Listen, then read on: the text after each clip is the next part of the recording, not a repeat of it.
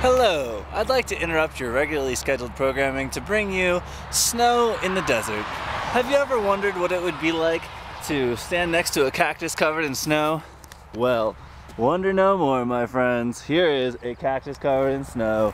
Or, what about perhaps maybe a palm tree covered in snow? Oh look, it's a yucca. It's covered in snow.